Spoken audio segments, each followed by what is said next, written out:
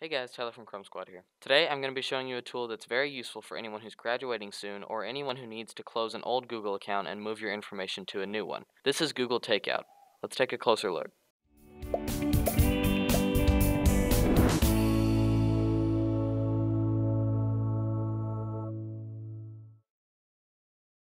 So basically, if you don't know what Google Takeout is, it's a program that allows you to transfer data from one Google account to another. To transfer your data, go to takeout.google.com slash transfer. As you can see, there's a few simple steps you have to follow before you can start transferring your data. Make sure before you get started that you're logged into the account that you want to take the data from. Step one is going to be to enter your destination account. So this is the account that the data is going to be transferred to. So in this box right here, you're going to type in the Gmail address of the account you want to transfer your data to. After you do this, click the blue send code button and a verification code will be sent to this email. After you receive your destination code and you enter it here, your email that you just entered will be verified. Once you do this, just click the next button and you'll be presented with step 3. The final step in this process is to choose which data you want to transfer. As you can see, you can select to transfer all of your Google Drive and also all of your Gmail. Make sure that the email address you have entered below is the account that you want to transfer the data to, and after you select which data you want to transfer, click the Start Transfer button right here. So that's pretty much all there is to Google Takeout. It's a really simple way to move all of your data from one account to another. This program is extremely useful, especially for outgoing seniors.